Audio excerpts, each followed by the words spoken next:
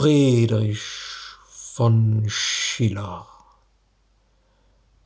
Das Mädchen aus der Fremde.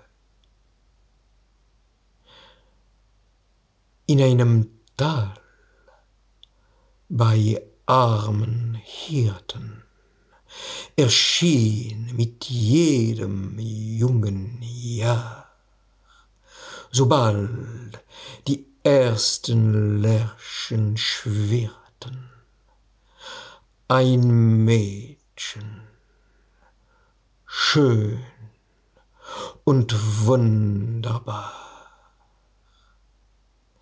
Sie war nicht in den Tal geboren, man wusste nicht, woher sie kam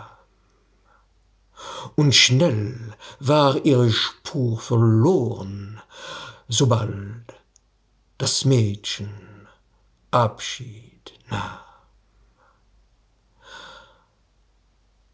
Beseligend war ihre Nähe, und alle Herzen wurden weit, doch eine Würde eine Höhe entfernte die Vertraulichkeit.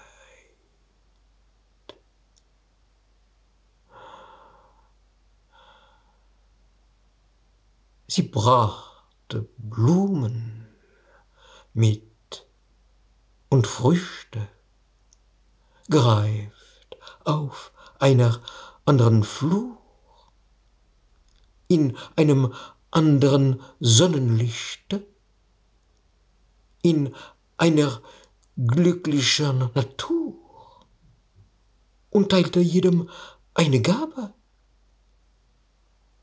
dem Früchte, jenem Blumen aus, der Jüngling und der Greis am Stab, ein jeder ging beschenkt nach Haus. Willkommen waren alle Gäste. Doch nahte sich ein liebend Paar, dem reichte sie der Gaben best.